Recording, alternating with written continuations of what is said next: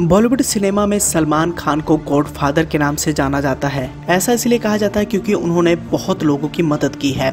सलमान खान ने अपने शानदार फिल्मी सफ़र के दौरान एक से बढ़कर एक सुपर डुपर हिट फ़िल्में दी हैं। साथ ही उन्होंने करियर संवारने का भी जैसे जिम्मा लेकर रखा हो।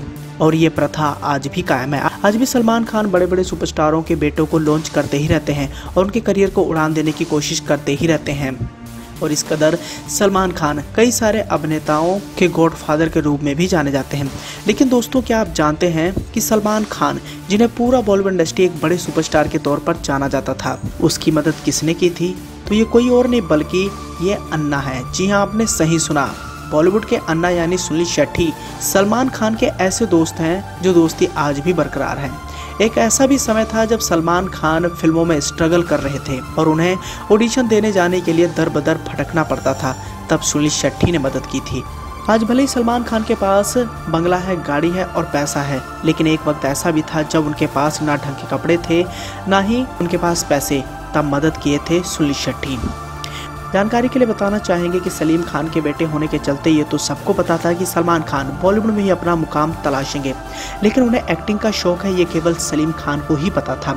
सलमान खान की पढ़ाई को लेकर लापरवाही से सलीम खान वैसे ही खफा रहते थे। इसलिए जब बारहवीं पास करने के बाद सलमान ने पिता के सामने एक्टिंग को चुनने की इच्छा जताई तो वह और भी नाराज़ हो गए। सलीम खान लेखक बनने से पहले एक्टर बनने की असफल कोशिश कर चुके थे। इसलिए इस पेशे के खतरे को बखूबी समझते थे। उन्होंने सलमान के एक्टिंग की ख्वाहिश कोई खास तवज्जो नहीं दी और उन्हें एक्टिंग के बजाय किसी निर्देशक का असिस्टेंट बन जाने की सलाह दी। लेकिन सलमान खान नहीं माने और एक्टर बनने के लिए स्ट्रगल शुरू कर दिया। हालाँकि पिता की मर्ज़ी के खिलाफ सलमान खान एक्टर बनने की कोशिशों में जुटे थे। पिता के मर्ज़ी के खिलाफ जाने से सलमान को उनके रुतबे का कोई फ़ायदा ही नहीं मिलना था।